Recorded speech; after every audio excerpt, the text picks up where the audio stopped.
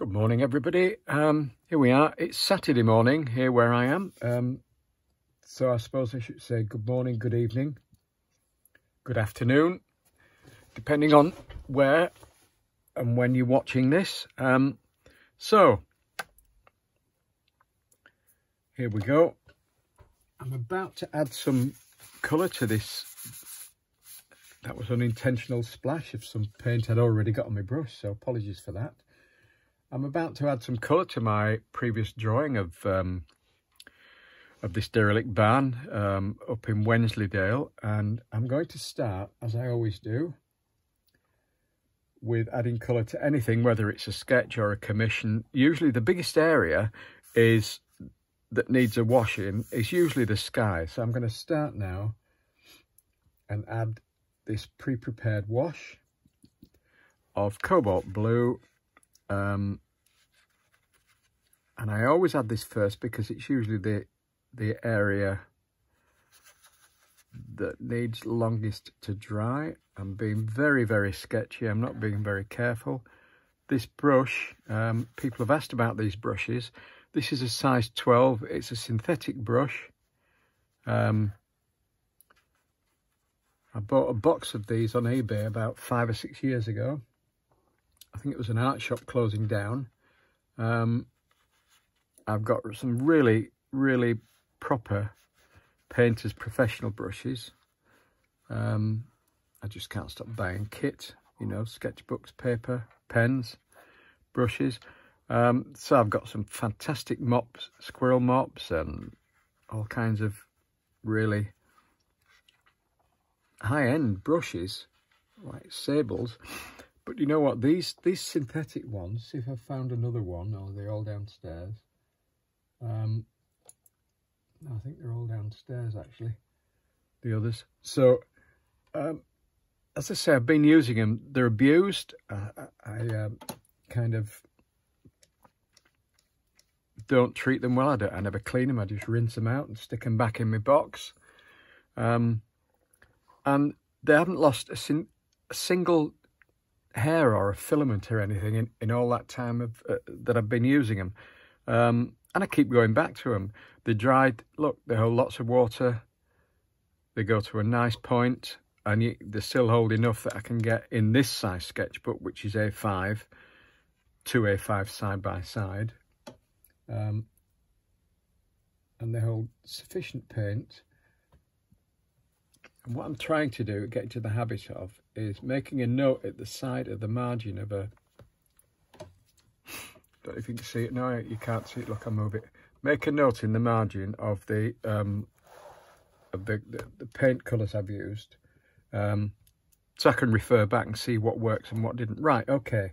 So that's the sky, and I'm... Um, apologies for this weird thing it's because I extended the drawing, if you remember in my last video, I extended it to the left. Um, this is the stitching in this in my Seawhite sketchbook. Um, sorry, I didn't tell you what these brushes were. These are Japanese made and, and the only name on them is, the word Inscribe Series 2000. And I've tried to look them on the internet and I can't find any more. Um, so I'll just have to keep going with these. I've got about 15 15, 20 of them left. Um, right, so the next thing, um, what I'm going to do is try to get some really bright light greens in. So I'm mixing some green gold. Here it's a Daniel Smith colour, green gold, with some cadmium yellow. Um, I'm going to try and get this these aren't very wet washes. Um, I'm trying to be more accurate and get some colour behind these fence posts. Although to be fair, I already know um, that I intend to go over these in, in paint. And for me, this this triangle that I just put colour in there, it's one of the most important bits of the composition because um, when I get round to adding shadows, that will dry. So let's go back over there. I'm hoping that'll dry light enough and bright enough. Right, here we go. So what I'm going to do now is to, sorry, let me show you the palette I'm using. This is another um, Winsor & Newton folding outdoor sketch palette. With the exception of those two pans, uh, those are half pans. I think they're Winsor & Newton half pans. These are all empty half pans that I've filled with some favourite colours from from um, from Daniel Smith. And this is a green I'm going to use. And what I like to do is to try it. I'll put that down. Um, I want to get, this is a fairly wet wash. Um, along there. And what I like to do, there you go, this is what I was trying to make happen, are these lovely, I'm just putting some almost neat pigment in, look. Um, and try and get things to, try and get colours to mix on the paper.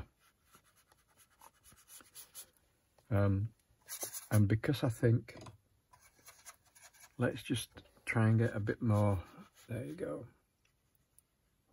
some some colour there. That's um, that's a bit of pre-mixed, it's quinacridone gold and a bit of sienna just to make the, hopefully make the give the illusion, the impression of some um, kind of dried grass there.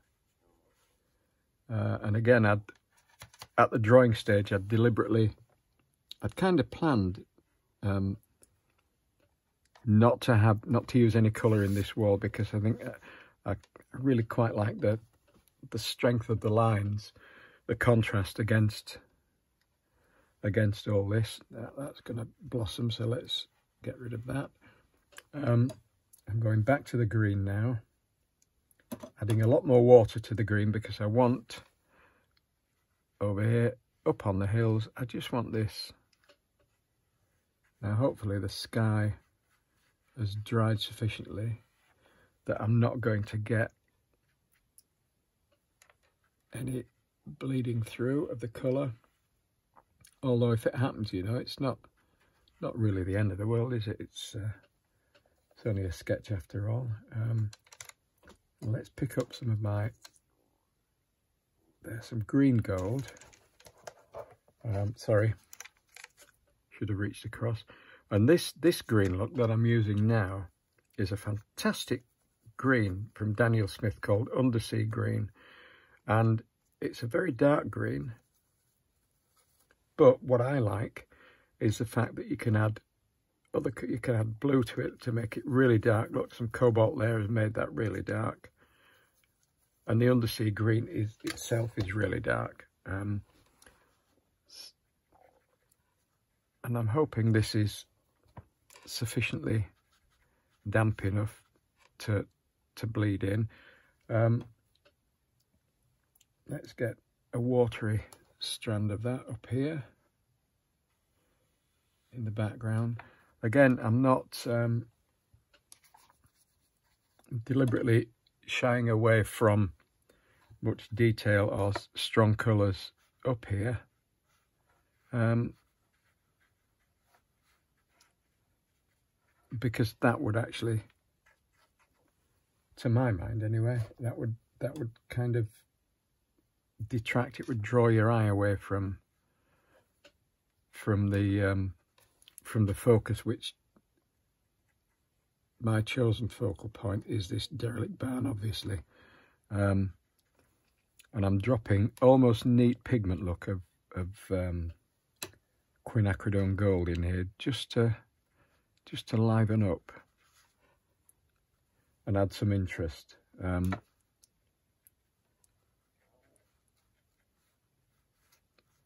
There you go. So I think what we'll do, because a lot of this, a lot of this is still relatively wet, uh, and I'm very near. Um, I'm going to add some colour to the barn, and but the most important thing is let's just refresh your memory about the reference photograph. The thing that stands out for me is this beautiful shadow. So um, I'm going to pause there and let that dry and come back to it and add more colour, but most importantly the shadows.